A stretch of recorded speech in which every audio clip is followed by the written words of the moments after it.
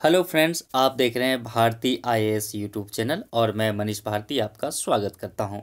Friends आज के इस वीडियो में हम देखेंगे यूपीएससी सिविल सर्विसेज़ एग्जामिनेशन के मेंस पेपर का जीएस थर्ड यानी कि इकोनॉमी साइंस टेक इन्वायरमेंट और इंटरनल सिक्योरिटी के जो पेपर्स होते हैं, उसको सिलेबस को देखेंगे कि यूपीएससी का सिलेबस क्या कहता है आपसे, क्या रिक्वायरमेंट है यूपीएससी की। फ्रेंड्स उससे पहले मैं आपको बता देना चाहूँ कि यदि अभी तक आपने हमारे भारतीय आईएएस यूट्यूब चैनल को सब्सक्राइब नहीं किया है तो प्लीज़ इसे सब्सक्राइब कर लें ताकि यूपीएससी पीसीएस इग्नू के मटेरियल सोशल वर्क और भी बहुत सारे चीज़ों के से बुक रिव्यू पोएम इन सब चीज़ों से जुड़ी जानकारी और आपको यहाँ पे मिलती रहेगी। तो फ्रेंड्स आइए जल्दी से हम शुरू करते हैं आज का यह वीडियो क्लासेज इस पेपर में सबसे पहले मैं इस पेपर को बता दूँ कि इस पेपर में क्या क्या टॉपिक रहेगा। तो फ्रेंड्स आप देख रहे हैं, इसमें पेपर में टॉपिक रहेगा टेक्नोलॉजी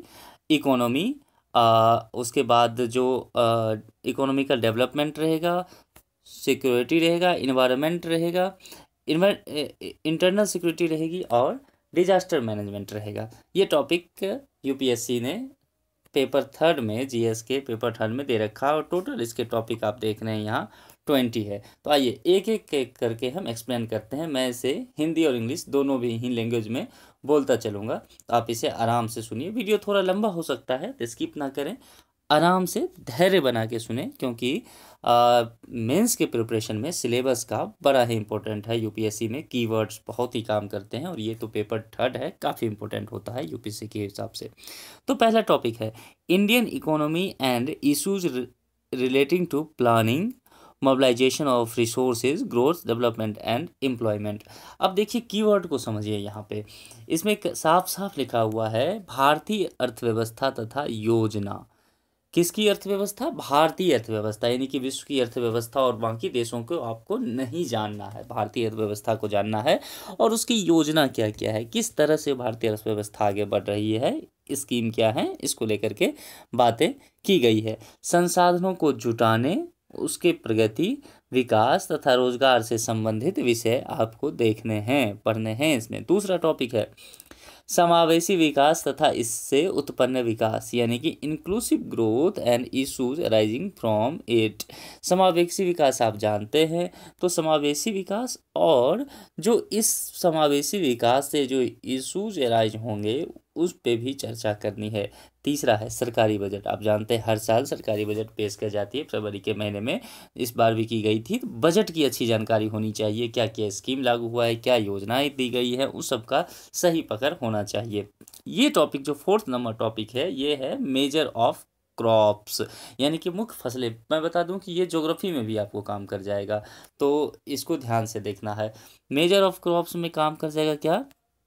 कि cropping patterns in various parts of the country देश के विभिन्न हिस्सों में जो खेती के पैटर्न हैं, फ़सलों के पैटर्न हैं, उसकी बातें की गई है। है ना? उसके बाद है कि सिंचाई के विभिन्न प्रकार एवं सिंचाई प्रणाली और उसके बाद कृषि उत्पाद का भंडार, उसी में है कृषि उत्पाद का भंडार, फिर परिवहन एवं विपणन, यानी कि transport and marketing of agriculture product and issues और रिलेटेड इससे संबंधित जो इशूज होंगे और जो बाधाएँ होंगी, उससे संबंधित ओके किसानों की सहायता के लिए ई प्रौद्योगिकी यानी कि e technology in the aid of farmers. तो ये सारे पैटर्न जो हैं, ये आपको ज्योग्राफी में भी काम आएँगे तो इसको आराम से देखना है। पांचवा टॉपिक है issues related to direct and indirect from subsidies and minimum support prices public distribution system, उसके अंदर क्या है? ऑब्जेक्टिव। यहाँ ध्यान देना है कि प्रत्यक्ष एवं अप्रत्यक्ष कृषि सहायता। प्रत्यक्ष रूप से सरकार जो कृषि सहायता देती है, अप्रत्यक्ष रूप से बहुत सारी सहायता मिलती है और न्यूनतम समर्थन मूल्य जो होता है, आप जानते हैं कि सरकार कुछ फ़सलों पे न्यूनतम समर्थन मूल्य देती है।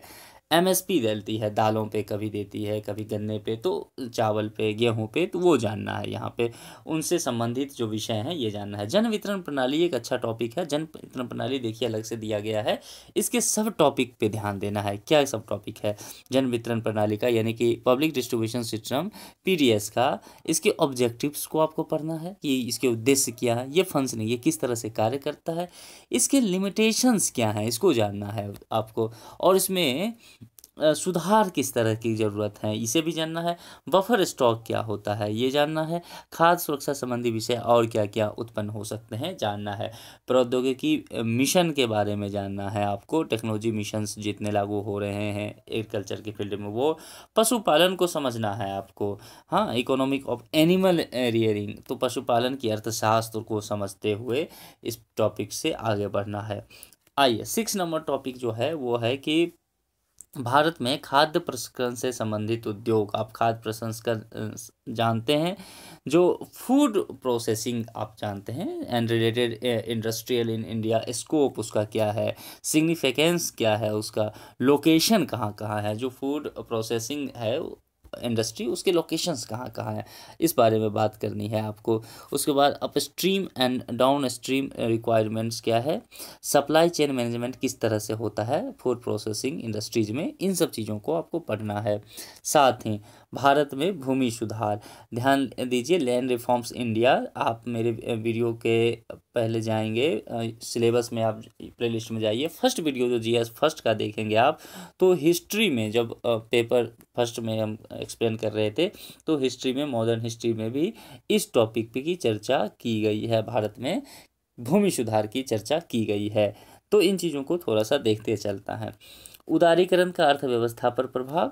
एलपीजी का ध्यान रखिए, पहले भी चर्चा की गई है। यहाँ फिर से उदारीकरण का देखना है। वहाँ पे आप पेपर वन में सोशल इशू में उदारीकरण और भौगोलिकरण की चर्चा की गई है। भारतीय समाज पे भौगोलिकरण की प्रभाव को देखा गया है। यहाँ पे देखिए, उदारीकरण का अर्थव्यवस्था पर प्रभाव क्या है? औद्योगिक नीति में परिवर्तन तथा औद्योगिक विकास पर इनका प्रभाव, किनका प्रभाव? उदारीकरण का। आप जानते हैं एलपी एलपीजी 1990 के दशक में लाया गया था भारत में भारतीय अर्थव्यवस्था को सुधार करने के लिए। तो यही चीज़ें हैं थोड़ा सा ध्यान दे करके इन चीज़ों को समझना है। उसके बाद टॉपिक नंबर नाइन जो है, काफ़ी इंपॉर्टेंट है, ये है इंफ्रास्ट्रक्चर से रिलेटेड देखिए, ये टॉपिक नंबर नाइन बहुत इंपॉर्टेंट है, बहुत क्वेश्चन आते हैं। इंफ्रास्ट्रक्चर से रिलेटेड क्या क्या चीज़ें एनर्जी पोर्ट्स यानी कि बंदरगाह, सड़क जानना है एयरपोर्ट्स के बारे में जानना है रेलवेज के विकास किस तरह से हो रहे हैं, क्या प्रॉब्लम्स है, आगे क्या संभावनाएँ हैं, इन सबों को पढ़ना है, बहुत बारीकी से। और दसवा है निवेश मॉडल भारत में इन्वेस्टमेंट मॉडल्स क्या क्या है, इसके बारे में डिटेल से स्टडी आपको करनी है। अब मैं आपको बता दूँ कि बीस टॉपिक इसमें आप देख रहे हैं, बीस में से जो एक से लेकर के एक से लेकर के दस तक का जो टॉपिक था, यानी कि दस से ऊपर जो जितने टॉपिक हैं, वो सभी इकोनॉमी के टॉपिक हैं। बीच में जो एक टॉपिक था आपका, चौथा और लगभग पाँचवा, ये एग्रीकल्चर से रिलेटेड है। तो एग्रीकल्चर आपको जोग्राफी में भी काम आ जाएगा। ओके उसके बाद जो ग्यारहवा टॉपिक से है, ग्यारहवा टॉपिक से ले कर के और तेरहवा टॉपिक साइंस टेक का है। ओके और साइंस टेक को देखते हैं, फिर ग्यारहवा में क्या है? देखिए, विज्ञान एवं प्रौद्योगिकी विकास एवं अनुप्रयोग और रोज़मर्रा के जीवन पर इसका प्रभाव science and technology developments and their applications and effect in everyday life यानी कि बेसिकली क्या है ना कि बेसिक साइंस की थोड़ी सी आपको जानकारी होना चाहिए। साइंस टेक्नोलॉजी में है ना कि साइंस टेक्नोलॉजी डेवलप कैसे हुआ। जैसे केमिस्ट्री है तो बायोलॉजी है तो इसका कैसे डेली लाइफ पे इफ़ेक्ट आता है, इन सब चीज़ों को थोड़ा सा समझदारी आपकी होनी चाहिए। उसके बाद टॉपिक नंबर ट्वेल्व जो है, विज्ञान एवं प्रौद्योगिकी में भारतीयों की उपलब्धि। ध्यान दीजिएगा, भारतीयों की उपलब्धि देशज रूप से प्रौद्योगिकी का विकास, जो भारत में पेटेंट वगैरह हुए हैं, बौद्धिक संपदा भारत की जो है ना, इन सब चीज़ों को थोड़ा जानना है। और नई प्रौद्योगिकी विकास, जो जितने भी डेवलपिंग न्यू टेक्नोलॉजी हैं, उसके बारे में आपको समझना है भारतीय परिप्रेक्ष्य में। अब देखिए, तेरहवा नंबर टॉपिक क्या है? तेरहवा नंबर टॉपिक बहुत ही इंपॉर्टेंट है और काफ़ी क्वेश्चन इससे आते हैं। तो इसको बहुत बारीकी से मैं दोनों लैंग्वेज में समझाता हूँ। ध्यान से देख लीजिए। सूचना प्रौद्योगिकी किसमें यानी कि इंफॉर्मेशन टेक्नोलॉजी अंतरिक्ष यानी कि स्पेस कंप्यूटर जानते ही हैं रोबोटिक्स नैनो टेक्नोलॉजी बायोटेक्नोलॉजी और बौद्धिक संपदा अधिकार यानी कि जो इंटेलेक्चुअल प्रॉपर्टी राइट्स होते हैं उससे संबंधित विषयों की जागरूकता होनी चाहिए। मैं फिर से एक बार बता दूँ कि किस संबंधों में होना चाहिए क्योंकि ये टॉपिक बहुत इंपॉर्टेंट है। यानी कि आईटी से पता होना चाहिए आपको स्पेस से पता होना चाहिए कंप्यूटर की ज्ञान हो, जानकारी होनी चाहिए रोबोटिक्स के क्या इशूज हैं नैनो टेक्नोलॉजी आज के लिए कितना इंपॉर्टेंट है और बायोटेक्नोलॉजी मोस्ट इंपॉर्टेंट है बायोटेक्नोलॉजी मीन्स के लिए। इन सबों से इशूज और दूसरा एक बता दूँ डिफेंस भी थोड़ी बहुत जानकारी आपको इसके लिए होना चाहिए। तो ये टॉपिक नंबर तेरह हो गया। यानी कि ग्यारह से तेरह जो है ये साइंस टेक आपका हो गया। आइए उससे ऊपर जब चलते हैं तो हम नीचे आते हैं तब हम देखेंगे कि चौदह और पंद्रह नंबर की टॉपिक जो है ये है इन्वायरमेंट के टॉपिक है ना? इन्वायरमेंट के टॉपिक हैं इकोलॉजी एंड इन्वायरमेंट तो ये क्या है? आ, इसको ज्योग्राफी के साथ और साइंस टेक के साथ मिला के पढ़ेंगे तो ज़्यादा अच्छा होगा। टॉपिक क्या है? Conservation environmental pollution and degradation environmental impact assessment ये है इसमें, यानी कि जो हमारा पर्यावरण का प्रभाव है, पर्यावरण प्रभाव का आकलन, प्रदूषण, क्षरण, संरक्षण किस तरह से हो सकता है? इन्वायरमेंट का, उसके बेसिक जानकारी आपको होनी चाहिए। और दूसरा जो है disaster and disaster management environment के बाद एक टॉपिक है डिजास्टर एंड डिजास्टर मैनेजमेंट तो इसमें क्या है, आपदा से संबंधित चीज़ें, जैसे कि बाढ़ हो गया, सूखा हो गया सुनामी चक्रवात, तूफ़ान, जितने भी चीज़ें हैं, या मानव जनित ही कोई आपदा हो गया तो अभी जैसे कोरोना वायरस है तो यही देखिए एक आपदा है। तो आपदा और आपदा से संबंधित जितने भी चीज़ें, इशूज हैं, इसको इस टॉपिक में पढ़ना है। उसके बाद आइए, अगला टॉपिक हम चलते हैं। जब नेक्स्ट पे आते हैं तो टॉपिक नंबर फिफ्टीन से लेकर के सॉरी सिक्सटीन से लेकर के ट्वेंटी तक ये टॉपिक हो जाते हैं। इंटरनल सिक्योरिटी के टॉपिक हैं। यानी कि आंतरिक सुरक्षा, है ना? यानी कि भारत अपनी सीमा की सुरक्षा के लिए और सीमा के अंदर सुरक्षा के लिए क्या क्या उपाय करता है और उससे रिलेटेड इश्यूज़ वगैरह क्या है, वो आपको इन टॉपिक में देखने को मिलेगा। तो देखते हैं क्या है। Role of external state and non state actors in creating challenges to internal security यानी कि आंतरिक सुरक्षा के लिए चुनौती उत्पन्न करने वाले शासन विरोधी तत्वों की भूमिका। आप जानते हैं कि जैसे आतंकवाद हो गया, नक्सलवाद हो गया, भ्रष्टाचार की समस्याएँ हैं या उग्रवाद कहीं है, आप इन सब चीज़ों को आप देखेंगे तो ये सेवेंटी नंबर टॉपिक में आ जाता है। इसी को कहते हैं ये चीज़ें। तो ध्यान से इस चीज़ों को थोड़ा सा देखना है। उसके बाद अठारहवा नंबर है, संचार नेटवर्क के माध्यम से आंतरिक सुरक्षा को चुनौती। आज आप देख रहे हैं कि सोशल मीडिया और इंटरनेट का ज़माना है तो ये एक बड़ा फ़ील्ड हो जाता है, संचार नेटवर्क के माध्यम से आंतरिक सुरक्षा को चुनौती। आंतरिक सुरक्षा चुनौतियों में मीडिया और सामाजिक नेटवर्क साइटों की भूमिका, साइबर सुरक्षा की बुनियादी बातें, धन शोधन यानी कि मनी लॉन्ड्रिंग और इसे रोकना। तो मनी लॉन्ड्रिंग क्या है? इसे कैसे रोका जा सकता है? ये चीज़ आपको जाना है। साइबर सिक्योरिटी को बेसिक समझ आपकी होना चाहिए और नेटवर्किंग वगैरह की जानकारी आपके पास ढंग से होनी चाहिए इस टॉपिक के लिए।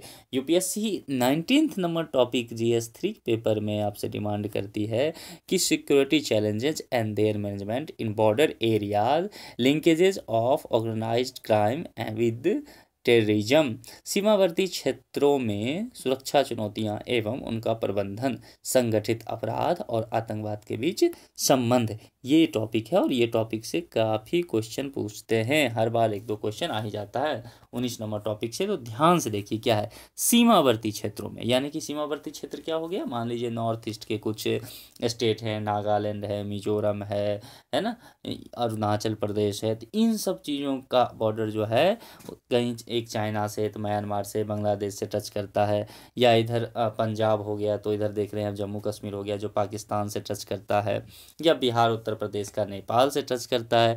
तो सीमावर्ती क्षेत्रों में सुरक्षा चुनौतियाँ तो इसमें सुरक्षा चुनौतियाँ चैलेंजेस क्या क्या है? अलग जगह हर जगह के अलग अलग चैलेंजेस हैं अलग अलग जगह के और उसका प्रबंधन। अगर चैलेंज है तो फिर मैनेजमेंट कैसे किया जा रहा है उनका वो देखना है।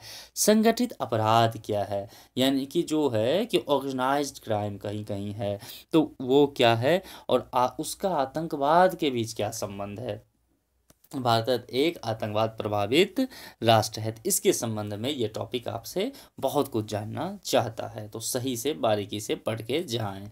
उसके बाद बीसवा नंबर टॉपिक है various security forces and agencies and their mandate यानी कि विभिन्न सुरक्षा बल और संस्थाएँ तथा उनके अधिसेजना जैसे कि बी हो गया, और भी जितने चीज़ें हैं बहुत सारे आप जानते हैं कि सुरक्षा बल हैं। तो उन सबों को ये जानना है कि सुरक्षा बल उन कौन कौन हैं, वो कार्य कार्य कैसे करता है, उसका पावर क्या है, उसके लिमिटेशंस क्या हैं और उनके जो है मैंडेट अधिशेष क्या हैं, कैसे वर्क वगैरह करता है। तो ये टॉपिक पूरी तरह से इस तरह से है। बीस टॉपिक इसमें है। फ्रेंड मैंने एक बार कम शब्दों में इसे एक्सप्लेन करने का कोशिश किया है। किसी दूसरे वीडियो में एक एक टॉपिक को करके एक्सप्लेन कर दूँगा, क्योंकि बातें तो बहुत की जा सकती है, लेकिन इस वीडियो में इतना संभव नहीं है। तो थर्ड पेपर यही है, आप इसको बारीकी से समझें। फ्रेंड्स फिर से मैं एक बार कह रहा हूँ कि अगर आपको इस तरह के हमारे वीडियो अच्छे लग रहे हैं, सही लग रहा है कि इन्फॉर्मेशन यहाँ से मिलना तो प्लीज़ चैनल को सब्सक्राइब करें शेयर करें इस इन्फॉर्मेशन को। हो सकता है ये इन्फॉर्मेशन आपके लिए यूजफुल ना हो, आपके कलीग के लिए फ्रेंड्स के लिए जूनियर के लिए। अपने रिलेटिव्स किसी के लिए बेनिफिशियल हो सकता है तो अपने सोशल मीडिया प्लेटफॉर्म पे व्हाट्सएप ग्रुप वगैरह में इसे शेयर कर सकते हैं। आप लाइक करके हमें अप्रिशिएट कर सकते हैं। आप अपने अप्रिशिएशन के रूप में कुछ अनमोल वचन हमारे कमेंट सेक्शन में दे सकते हैं, ताकि हम पढ़ के मुस्कुरा सकें और आपके लिए आगे भी कुछ उपयोगी वीडियो बना सकें। तो फ्रेंड्स इन्हीं बातों के साथ इस वीडियो में इतना ही। नए वीडियो में हम नए टॉपिक के साथ आपके साथ मिलेंगे। तब तक के लिए शुक्रिया।